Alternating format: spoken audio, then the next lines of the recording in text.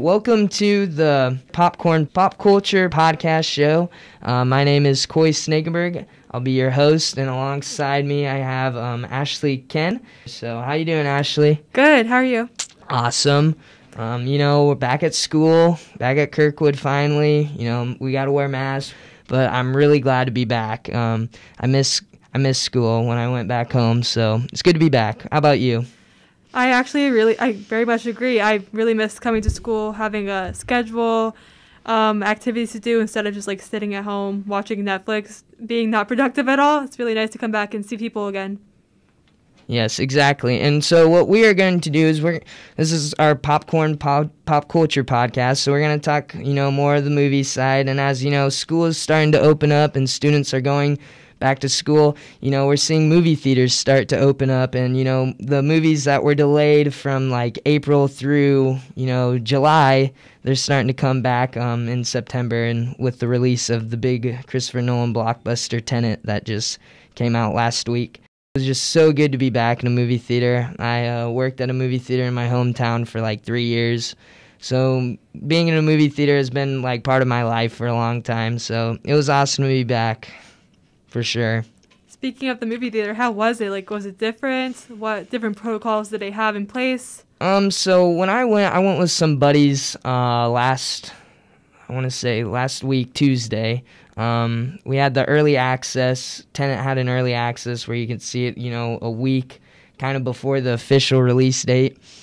And so um, I went there at a late night, late late show, and so it was pretty empty. And I feel like that's going to be the case with most movie theaters. I don't think a lot of people are going to go see movies yeah, right out of the not gate. Not very comfortable right now either. Yeah, exactly. So you know, we kind of we got to the movie theater. Parking lot was pretty empty out at the big Marcus Theater in Cedar Rapids um, on Collins Road. So it was pretty empty. Last time I was there, I think I saw the movie Parasite, and it was packed on like a Sunday afternoon. It was completely full. So that was a little bit different, mm-hmm. but you know they're enforcing um, the mask policy. Um, you have to have a mask to go inside. You, we I bought concessions. I bought candy.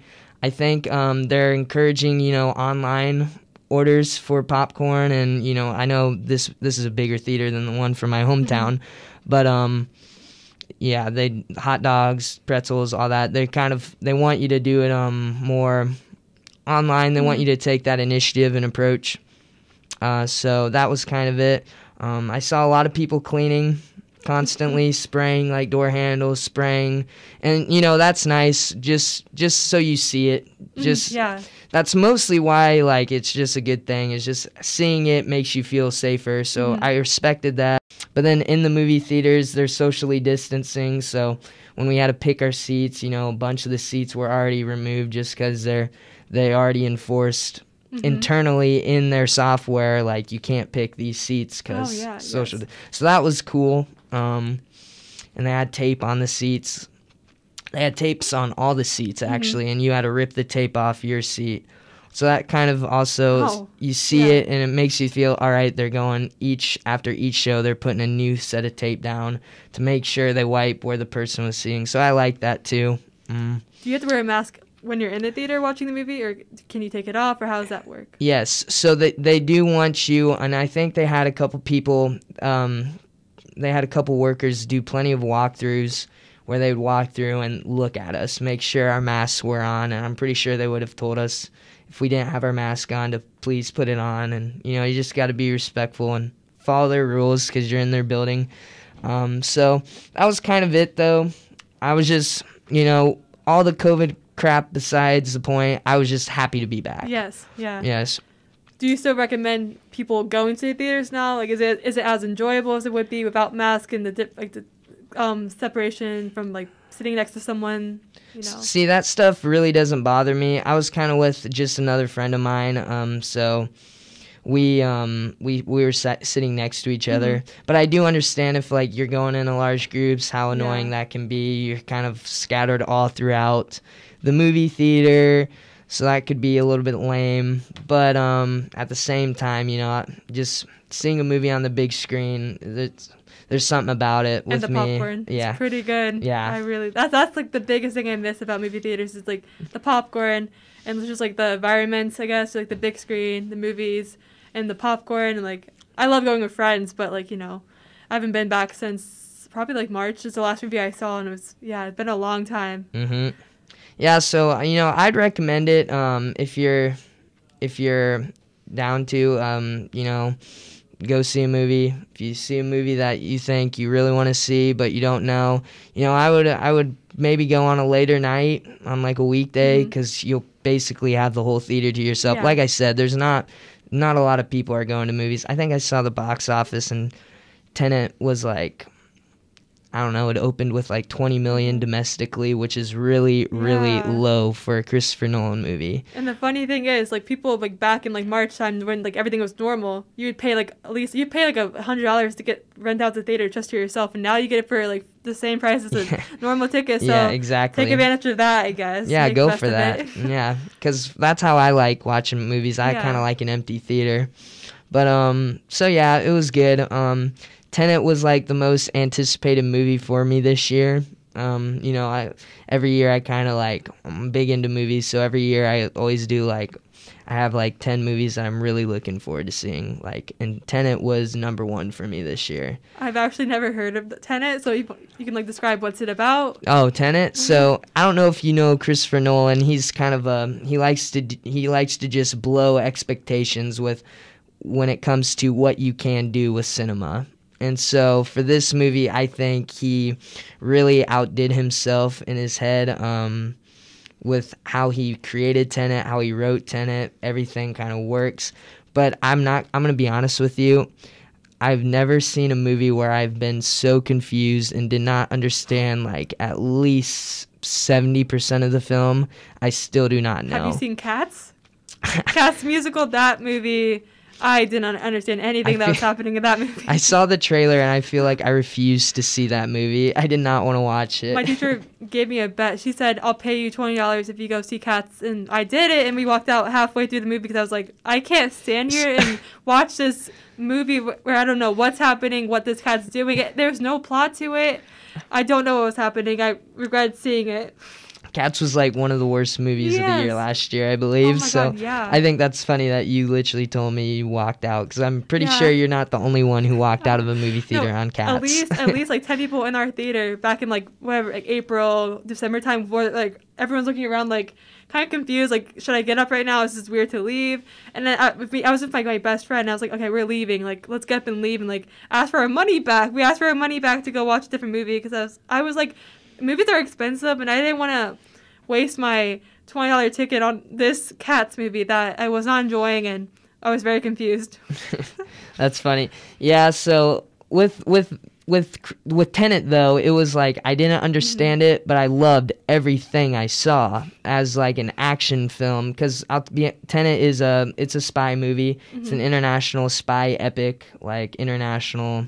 It's crazy. They're in so many different locations. There's so many action set pieces and like the acting's great. Um, it was just I was blown away just by what they were able to do. And the main thing about Tenet, the big twist, is they can go reverse in time at parts. Mm-hmm. And so there's a part in the scene where you know the main character played by Denzel Washington's son. Can't think of his name right now, but it's Denzel Washington's son. Everyone knows Denzel. um, he picks up a gun and he aims it at you know where he would be shooting at in the shooting range and this one lady doctor's like all right catch the bullet and he's like huh and she's like you don't have to understand the movie. You don't have to understand it. You just have to feel it. And that's kind of like what i feel like the movie was. You don't have to understand it but you have to feel it. You have to witness it. And so i kind of thought, th- thought that was funny and he caught the bullet right from the gun. So it goes in reverse, and there's really cool action scenes where like he's fighting someone in reverse, and like you know they're oh doing like things like crazy. Like instead of throwing a punch, his punch is coming back. And That's it, really it's, confusing. It's just really trippy. There's a car chase scene where a car is just driving in reverse the whole time, like. So basically, you feel like you're on drugs the whole time watching it. Yeah, I saw like a Rolling Stone said it's don't watch like it's a movie where you think you're on acid yeah. and it's like crazy. Same for cats. yeah. Don't see the Tenet or Cats the musical when if you're on any sort of type of drugs Yeah. or generally you don't want to be confused. Unless the Tenet sounds pretty cool, but Cats don't go see. Yeah, so my plan is I want to see it again. I recommend you see it just because you said you walked out of Cats, and I would. I'll be honest, like the the opening like. 20 minutes they're speaking in spy dialogue so they're Oh, like no. they're talking he's like minutes? he's like the orchestra was played pleasantly last night and then another guy's like oh yeah the green valley is beautiful in the mornings for 20 minutes. yeah and you're like i'm like what are they I'd probably walk out at that point. i know it's spy code but what are they talking about? yeah, about I might have to walk out that one. Kidding. Yeah, but I'll be honest, the whole action, the spectacle was amazing. I think I'm going to see it again sometime this week just because I'm a big Christopher Nolan movie. Have you ever seen Inception, uh, The Dark Knight, um, Interstellar, uh, Dunkirk? Any of these Okay. movies? Is Harry Styles in Dunkirk? Yes. Right. I didn't watch it, but I just knew I've heard. Okay, I've heard of all those movies. I just never watched them. Yeah, I guess yeah. I'm not the biggest fan of action movies. Like, I'm not the biggest fan of superhero movies, action. I don't know. I'm just not that kind of person, I guess. Yeah, yeah. Well, yeah, this was a huge blockbuster that you know he made, and um, it was. I was. I was not disappointed. I don't think it's it's, it's his best work, but I still have to just respect all the technicalities that he went through with making it. Like, how do you film like all these things going in reverse, and then he has these scenes where like people are running forward as people are running backwards. Like eh, there's a huge scene where like there's kind of like an army. We're in like the Middle East, and the army is kind of getting off these helicopters, and as people are running out of the helicopter, people are backpedaling in, and it's like I would love to see him like ed in the like the like the him see it seem like editing it all that. like that's kind of like- what I was wondering. I was like, are they training the actors To to, like backwards? go backwards? Yeah, Yeah, I the- feel like they went. I feel like they, he's probably edited like like that somehow. I would love to see him edit that. That sounds interesting. Yeah, it was just crazy. And there's a there's a really cool shot where like a building explodes, but it's in reverse. That's so. Wow, I don't and know how so like that. the there's rubble, and then all of a sudden it gets built up, and you see the explosions, and then it's whole again, and it's it's just I was blown away. I need to see it again, for sure. Um, but yeah, so Tenet was the first big blockbuster back in the big screens. I'm happy now. I'm just. I'm satisfied. I'm glad I got to see. You know, 2020 has been a rough year yeah. you know for me with you know no sports um you know can't can't go out to you know gatherings with your friends Yes. and stuff and, but movies was where it was just like that was the the col- the worst it was like the subtle just dagger of the whole covid crisis it's for just me not not, seeing these yeah. movies It's just not the same at home watching it on Netflix, like in my room with my dog. It's not the Mm-hmm. same. It's not the same vibe. I can make my own popcorn at home. It does not taste the same as the movie theater. Nope. So if you like the movie theater popcorn, and you like the environment of being in a dark theater with like a big screen, I would say splurge a little bit. Go out. Just be careful. Be cautious. Be safe. Wear a mask Mhm. and go see the movies since we're open right now. Yep, and I, I agree with everything you said. And you know, with the upcoming flicks, I don't think there's a whole lot. I think I think the next big huge blockbuster, minus all these Netflix movies that are coming out, um, is Wonder Woman, October second. And I have a feeling it's gonna be delayed again because Tenet kind of it's performing well. That's kind of their thing right now. It's it, with Warner Brothers. Like I said, the next big movie is October second.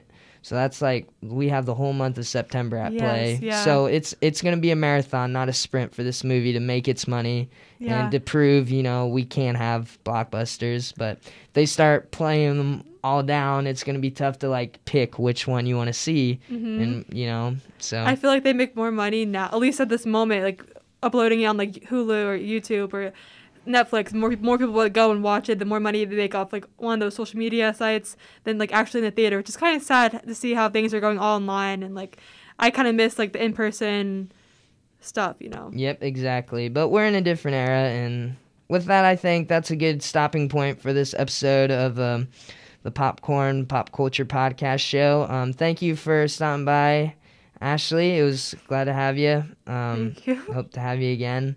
And um, thank you for listening. Have a good day. Stay healthy. And wear a mask. Yep, take care.